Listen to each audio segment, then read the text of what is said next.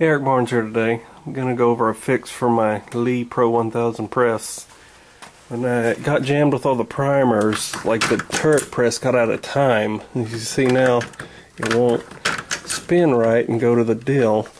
Well, how to fix it, there's a little nut under this dill right here. You just turn it to the right until it goes. Oh, there it goes. Clicked right in now. That's all you got to do. If you go left on the bolt, it takes it, or actually screw, it takes it clockwise. If you turn the, the screw right, it takes it counterclockwise, and that's how you reset the time on it. Anyway, thanks for watching. Please subscribe if this was helpful. Appreciate it. Bye.